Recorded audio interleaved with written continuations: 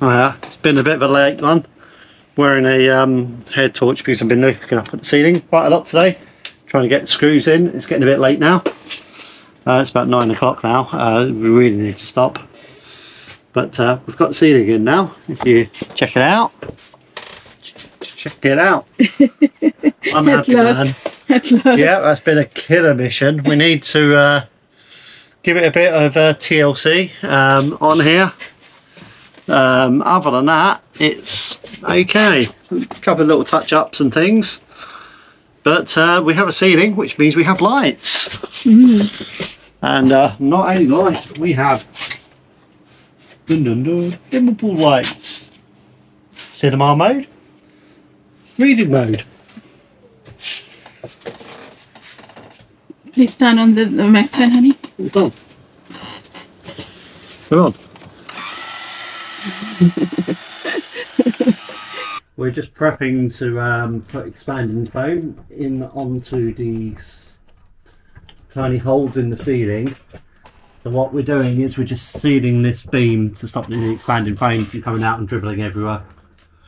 Um, we're using the insulating um, sound uh, acoustic deadening foam that you can buy we bought from B&Q's. Surprisingly the uh, carpet tape that we used which is surprisingly this carpet tape we used the stuff from B&M was the best we found. Um, this one's not as good as the one that we had from B&M simply because one from B&M you can tear with your hands and it's equally as sticky so that's easy to work with. Um, this you need a pair of scissors This is cheaper though. This, yeah, but still the B&M stuff was better, I find, for what we needed. Um, and yeah, we've uh, driven, what, 30 miles uh, to Ikea. And uh, it all stayed up before we finished the roof. I was expecting it all to be on the floor before we got back. And not one piece of roof fell down. So carpet tape is the way to go. Get the board up there and that way you don't, you can uh, it's not going to fall on your head because we were worried about uh, doing this. We thought it's going to be really hard and really awkward, but it's been fairly okay. I quite like this lining. You see, this is not too too big, so easy. with- and I can still tiptoe a bit, yeah, you are oh, six and I'm six quite a tall fella. Yeah, it's still Yeah. quite nice. Yep.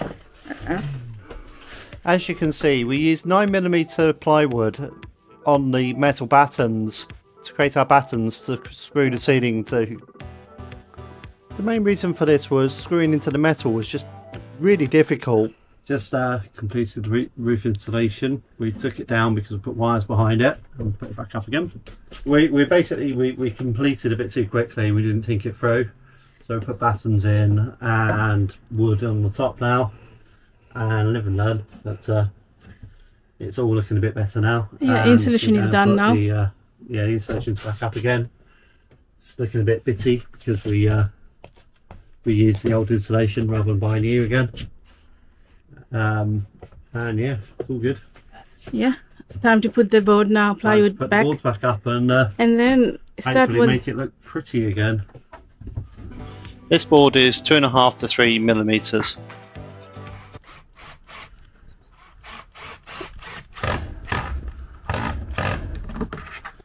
Uh, we bought this for about one pound fifty on um, Ability shop. out of our Ability Hardware shop. I thought that the whole thing was going to spin like that. Uh, I didn't know it spun in the middle. And it's absolutely epic because it just means you can get to awkward places like this with a drill, which we couldn't before. And we can really kind of get in there with the drill. It's awesome. Wish I knew about this one was under the van. I would have bought 10 of them. So the ceiling consists of some Dodo Mat for sound deadening, followed by the 25mm insulation board, followed by the 2.5mm plywood, and between plywood and the insulation board we have a layer of the oil as well. So this is our monster.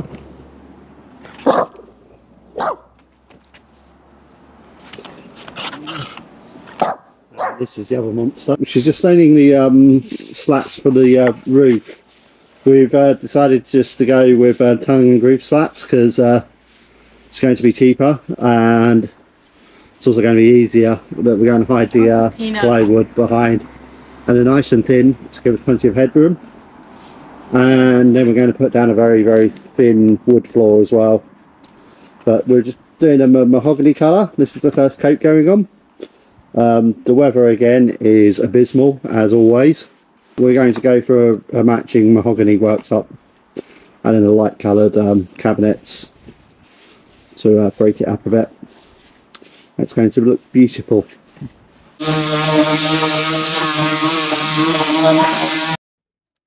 After applying a couple of uh, layers of varnish, we uh, decided to sand it back in a uh, very patchy manner, and then we reapplied another layer of varnish. This gave it a more of a patchy look rather than a solid colour. We then put on top of that a yacht varnish to give it a clear gloss, so there's a bit of a shine to the ceiling. The whole process did take us quite some time, but um, it really was worth it. The tongue and groove was then fitted using a fitting kit which is a small bracket that sits within the groove and fastens from the back.